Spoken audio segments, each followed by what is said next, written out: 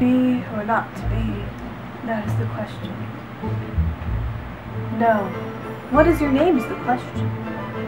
Hello, my name is William Shakespeare, otherwise known as the Bard of Avon, the Swan of Avon, the Bard. But I don't think I spelled my name correctly.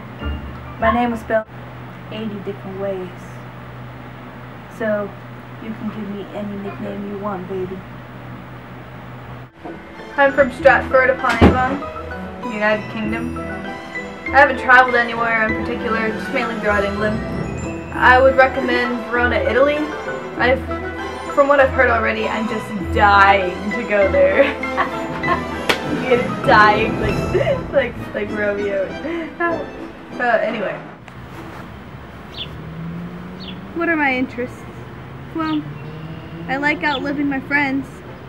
I died at 52, the rest of them died 30, 40 years old. I like gold hoop earrings.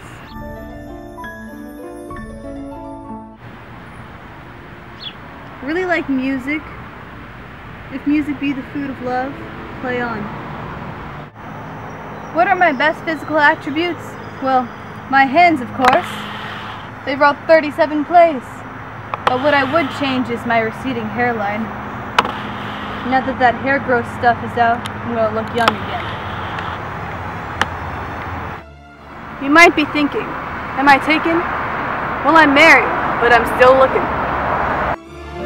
It was hot out there! Was I born into world? No. Did I marry into it? No. I work for it. I'm an upper-class citizen.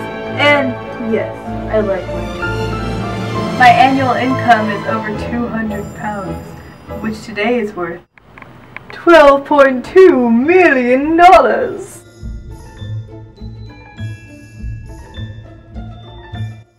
And if you go for me, I'll write you a poem. Oh, mistress mine, where are you roaming? Oh, stay and hear your true love's coming.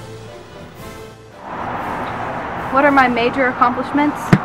Well, I wrote 37 plays and 150 sonnets.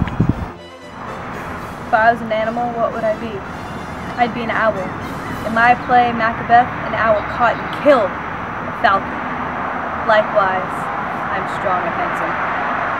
I gave rise to the popular phrases fashionable, sanctimonious, foregone conclusion, eyeball, lackluster, in a pickle, wild goose chase, and from Macbeth, one fell swoop.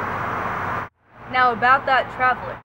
I have no historical record between the years 1585 and 1592, so whenever we might want to have some alone time, I can hook us up. I'll hope I'll see you some more on historical hotties. But first, let me take a selfie.